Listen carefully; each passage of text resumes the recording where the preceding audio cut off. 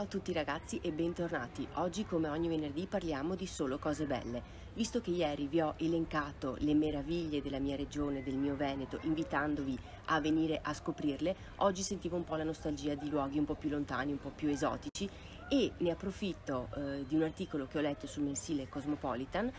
in cui vengono elencate le 20 spiagge più belle del mondo, perché alla fine sognare non costa nulla.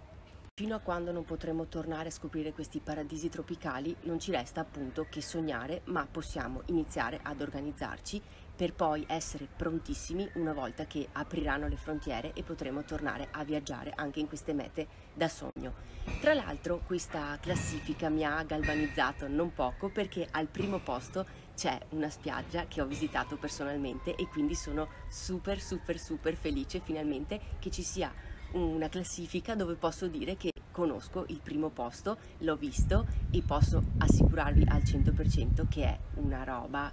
pazzesca, incredibile, che dovete assolutamente mettere nella lista dei luoghi da vedere almeno una volta durante una delle vostre vacanze. Metto già le mani avanti dicendovi che non vi racconterò tutte e 20 queste spiagge, altrimenti diventa un video più lungo di Via col Vento, ma facciamo un countdown delle prime 5 posizioni e poi le altre ve le metto come foto in modo che possiate comunque eh, vederle e eh, iniziare a pensare qual è quella più adatta al vostro viaggio. La tecnologia mi aiuta e con questo nuovo filtro fighissimo di Instagram finalmente posso mettere gli sfondi e quindi questa è la foto della spiaggia che si trova al quinto posto di questa classifica e cioè la spiaggia dell'isola di Koh Ong in Thailandia. Quest'isola si trova eh, all'interno del mare delle Andamane, nella zona tra Phuket e Krabi, quindi è perfetta durante il nostro periodo invernale. La particolarità delle spiagge thailandesi e quindi anche di quest'isola, come potete vedere alle mie spalle, è la, mh, mm, il colore verde smeraldo dell'acqua, quindi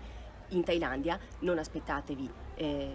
l'acqua cristallina azzurra, ma mille sfumature di verde, quindi da non perdere mi raccomando. La Thailandia a me piace tantissimo, è un, uno stato che permette di fare eh, un viaggio veramente completo tra natura, archeologia, storia, cultura, modernità, cose più antiche e soprattutto vi dà la possibilità di visitare queste spiagge. Ci spostiamo ancora più ad est per la quarta posizione e cioè in Australia, nel Northern Territory, quindi nella parte nord si affaccia questa meravigliosa spiaggia che si chiama Lonely Beach, una spiaggia selvaggia, eh, tropicale, che già dal nome vi fa capire che qui distanziamento sociale ce n'è veramente tanto. Tra l'altro la spiaggia è raggiungibile solo con un'escursione eh, che viene organizzata dalla popolazione aborigena locale, quindi oltre a portarvi a visitare la spiaggia e il suo bellissimo mare, vi racconteranno, vi spiegheranno anche tanto della cultura aborigena australiana che è veramente affascinante e come sappiamo unica al mondo. Quindi durante il viaggio in Australia inserire assolutamente Lonely Beach. Parliamo di spiagge più belle del mondo, ovviamente dobbiamo nominare anche le Maldive infatti al terzo posto troviamo l'atollo di Ba che è stato dichiarato dall'UNESCO patrimonio eh, mondiale della biosfera proprio per la sua eh, flora, per la sua fauna. Qui si può eh, tuffarsi in queste lagune turchesi meravigliose che eh, confinano poi con l'oceano eh, blu intenso dove appunto eh, la barriera corallina è ancora spettacolare, dove si possono conoscere e incontrare tantissime eh, specie diverse di pesci, di coralli, veramente un tuffo dove l'acqua è più blu, per citare una canzone famosa. Comunque, nell'atollo di Ba ci sono tantissime isole e su ogni isola troviamo un resort di lusso o anche di anche un po' meno lusso. Non pensate che per andare alle Maldive bisogna per forza spendere delle cifre folli. Si può organizzare una vacanza splendida spendendo il giusto, quello che comunque eh, queste isole vi possono offrire è assolutamente un mare e una natura unica, vi sentirete eh, veramente ehm, circondati da un paradiso terrestre vero e proprio. Secondo posto ci spostiamo ai Caraibi e troviamo una delle spiagge giamaicane più belle in assoluto, cioè Frenchman's Cove. Questa spiaggia è protetta da scogliere da entrambi i lati e ha questa acqua azzurrissima con delle sfumature addirittura tendenti al verdi, soprattutto nella zona in cui la vegetazione è più fitta e si può veramente ehm, rilassarsi all'ombra di questi eh, alberi, di queste palme, di questa appunto fitta vegetazione. La spiaggia è bianchissima, spiaggia come Borotalco per darvi veramente delle giornate di relax totale e assoluto, perché anche la Giamaica, così come tutti gli altri Caraibi, offre veramente dei posti paradisiaci, ma alla fine eh, ve le sto dicendo tutte come se fossero posti paradisiaci, ma perché in realtà lo sono veramente. Quindi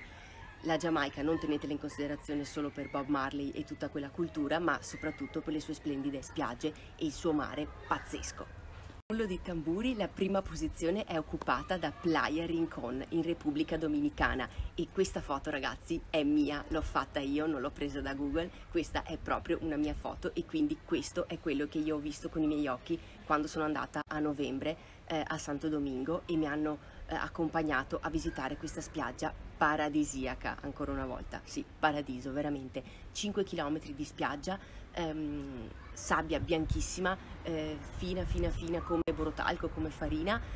una vegetazione strepitosa con eh, palme da cocco altissime, la possibilità di fare lunghe passeggiate e di fare dei bagni spettacolari in questa acqua qui che vedete azzurrissima dove si può fare snorkeling e dove c'è una zona della spiaggia dove c'è un po' di più vento, un po' di più onde, si può fare anche um, surf. Io surf non l'ho fatto, mi sono spaparanzata lì e ho goduto di questo posto incredibile, di questa spiaggia e di queste acque pazzesche, veramente uno dei posti, una delle spiagge più belle che io abbia mai visto. Tra l'altro la spiaggia di Playa Rincon non si trova nella costa meridionale della Repubblica Dominicana, ossia nella zona di Baia Ibe, che è quella un po' più turistica, più frequentata, ma si trova da tutt'altra parte, dalla parte opposta, quindi sulla costa settentrionale, nella penisola di Samaná, che è un po' meno turistica, quindi eh, dove trovate meno gente e anche dove ehm, la costa e la, la, natura sono veramente ancora incontaminate, quindi qui riuscite secondo me a vivere la vera esperienza eh, della Repubblica Dominicana ancora più autentica, piuttosto magari della zona di Baia Ibe o di Punta Cana che sono veramente veramente molto molto turistiche e molto anche americanizzate. Quindi Samaná è veramente un posto eh, da urlo per chi cerca relax, per chi cerca natura e per chi cerca la possibilità di fare delle escursioni strepitose sia via mare sia via terra. Faccio finta di essere ancora sotto le magnifiche palme della Repubblica Dominicana che in foto veramente non rendono, forse sono la cosa che mi è piaciuta di più in assoluto di Santo Domingo perché sono veramente bellissime, emozionanti, oserei dire. E, tra l'altro ehm, le palme ovviamente si trovano, come vi ho detto, a Playa Rincon, ma poi sono disseminate su tutte le spiagge e anche nell'hotel dove ho alloggiato io, che era il Sette Mari Balance Club Viva V Samaná, che vi consiglio assolutamente perché io sono stata da Dio e si mangia bene, è pulito, eh, c'è una spiaggia pazzesca, il mare davanti eh,